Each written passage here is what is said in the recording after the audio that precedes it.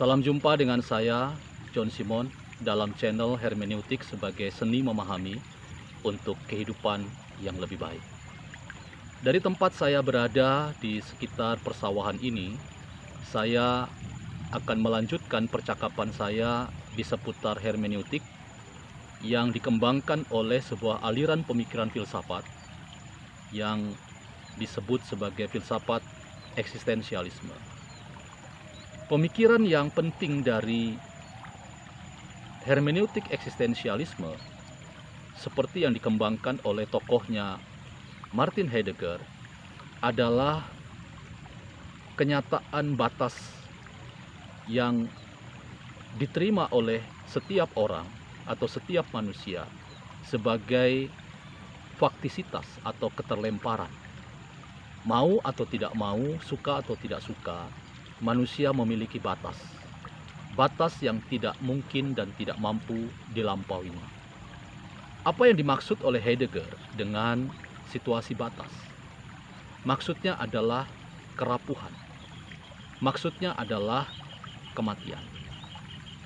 Tema kerapuhan dan kematian sangat penting di dalam perkembangan pemikiran hermeneutik eksistensialisme oleh karena memberikan wawasan atau insight kepada siapa pun bahwa manusia pada dirinya bukanlah entitas atau keberadaan yang absolut yang melampaui apa yang bisa ia lakukan di hari ini. Ia tidak bisa melampaui apa yang tidak bisa ia lampaui dan itu adalah kematian. Jadi, kematian memiliki makna ganda. Yang pertama, kematian itu merupakan bentuk dari panggilan menuju kesetaraan hidup. Bahwa aku dan orang lain, kendati pun sering kali oleh status sosial, ekonomi, dan politik, sering kali mengusung pangkat kedudukan dan jabatan yang berbeda. Tetapi di hadapan kematian, kita setara, kita sama. Baik orang yang berpangkat, yang tidak berpangkat, mereka yang punya gelar atau tidak punya gelar, pada dirinya manusia itu sama, setara ketika berjumpa dengan kerapuhan atau dengan kematian. Makna yang kedua adalah kematian ternyata punya perspektif yang melampaui apa yang biasanya disangkakan orang sebagai sesuatu yang menakutkan, yang mengkhawatirkan. Bagi hermeneutik eksistensialisme, kematian ternyata mengandung optimisme tersendiri, di mana kematian itu menghantar seseorang pada apa yang namanya otentisitas. Apa yang namanya kedirian yang apa adanya. Apa yang namanya diri yang asli, yang tidak menurut kata orang, yang tidak menurut apa yang dibentuk oleh situasi atau keadaan. Bahwa berbicara tentang kematian, berada dalam situasi kematian, maka seseorang itu sebetulnya mengalami keasliannya. Dirinya yang tanpa embel-embel, dirinya yang tanpa status, dirinya yang tanpa pangkat jabatan kedudukan yang dibentuk yang semuanya itu sebetulnya bersifat tambahan atau artifisial. Teman-teman yang berbahagia, optimisme terhadap apa yang namanya kerapuhan atau secara konkret disebut dengan kematian?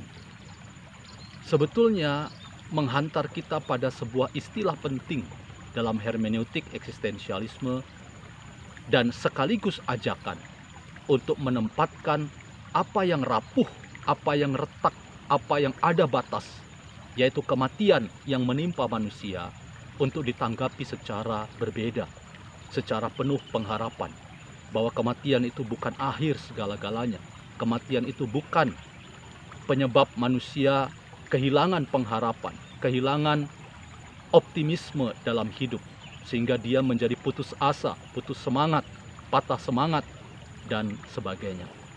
Karena itu dikatakan dengan sebuah formula penting dalam hermeneutik eksistensialisme agar orang berani takut mati.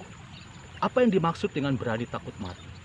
Berani takut mati adalah sebuah upaya melampaui apa yang biasa dipahami orang dengan kerapuhan, situasi batas termasuk kematian.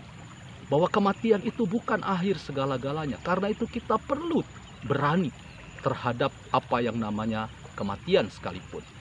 Bahwa kematian itu bukan akhir segala-galanya.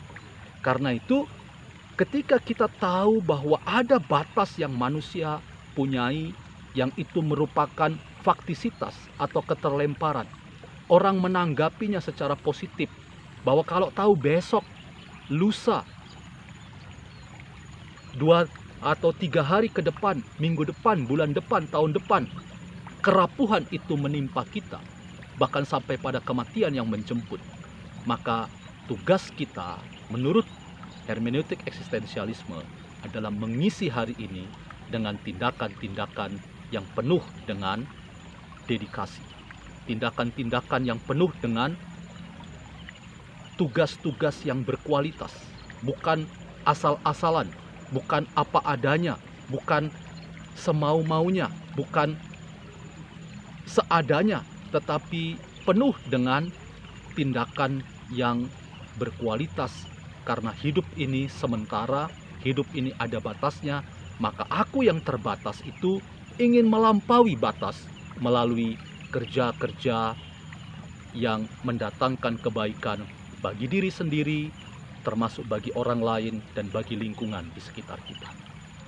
Karena itu, teman-teman, hidup memang berhadapan selalu dengan situasi batas yang sulit untuk kita akan bisa lampaui atau atasi. Tetapi percayalah bahwa cara hidup kita di hari ini itu menentukan untuk kita bisa melampaui situasi batas itu termasuk dengan kematian sekalipun. Bahwa kalau tahu besok kita mati, maka hari ini kerjakan apa yang bisa Anda kerjakan dengan sungguh-sungguh, dengan keuletan, dengan berkualitas. Karena kita tahu cara kita mengantisipasi hari esok adalah dengan hari ini bekerja dengan berkualitas demi kebaikan diri Anda sendiri, demi kebaikan orang-orang di sekitar Anda, termasuk demi kebaikan lingkungan yang lebih besar. Karena itu, jalin, jalanilah hidup ini dengan tekad yang kuat bahwa situasi batas bisa dilampaui, bisa diatasi oleh kita yang selalu optimis pada hidup ini. Berani takut mati adalah cara kita melampaui apa yang menjadi batas dalam hidup kita. Terima kasih atas peran serta Anda dalam menikmati channel ini. Channel ini akan sangat berguna dan bermanfaat ketika Anda ikut serta memberikan like, memberikan komen, atau subscribe dan kiranya kita menjadi orang yang semakin baik lewat cara memahami hidup, lewat proses hermeneutik sebagai seni memahami untuk hidup yang lebih baik. Nantikan saya pada channel yang berikutnya. Terima kasih.